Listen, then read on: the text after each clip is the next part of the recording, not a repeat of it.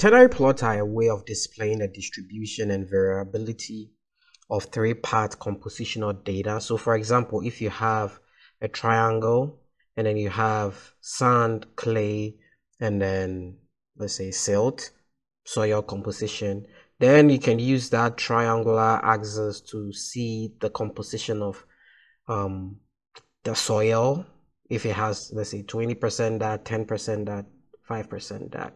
So we're going to use the PogoJam data. You can come to help and then sample data and then just type PogoJam double click and open this data.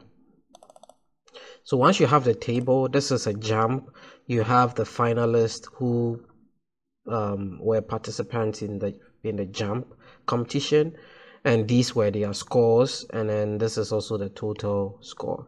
So let's come to graph and then ternary plot and then we want to put in the x plotting. So you want to put in the jumps and then you put x. So these are the jumps. So once you're done you just hit okay.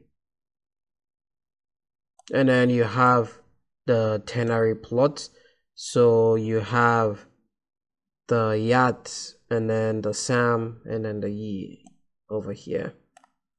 And then to edit this this is pretty much the same. You just come in here and you can show a color theme. You can um and just change this accordingly. And then you can also right click in the graph and one of the things that you can do here is the row legend. So this color the rows according to the data. So you can just come on in and go to so you go to finalist and then this is how it looks like. So everything is round right now. So you come to marker and you hit standard and you see that the markers change. And you can see there's hollow there's solid there's paired there's classic and then you can also do alphanumeric as well. But let's do something like solid and then you can make the window with legend and also save the column property save to table property exclude rows and just have that here. Then you can close this one because we have that.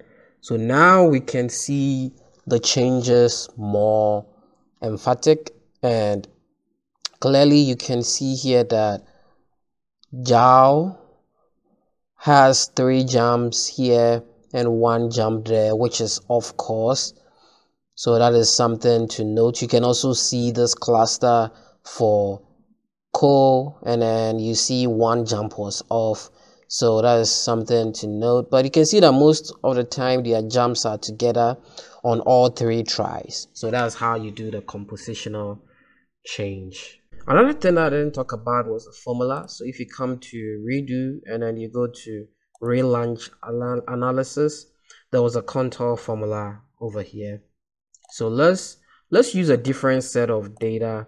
Let's use um, a data called fish patty so you can also search that from the sample library and then just double click on the fish patty so here you're making um, a patty with these three fish fishes and they have different compositions. So 0 0.5.51 so and then the temperature you cook at and this is the rating.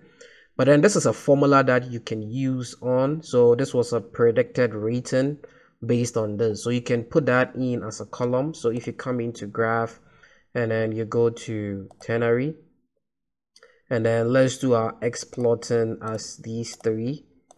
And then for the formula let's choose the predicted rating and then hit ok.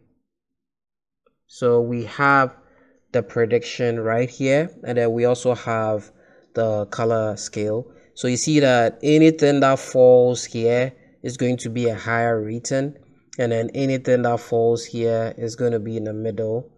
Um, we can add some color to it so that it makes it more emphatic for us. You can also right click on here. And once you're done with that you see we have um, the temperature dial. And then you can use that if you from the model that we have if you change temperature where is the return so we see the 5.5 is here and then if you change the temperature to and you can also type exact number in here where does it fall accordingly? So you can also put that in here perfectly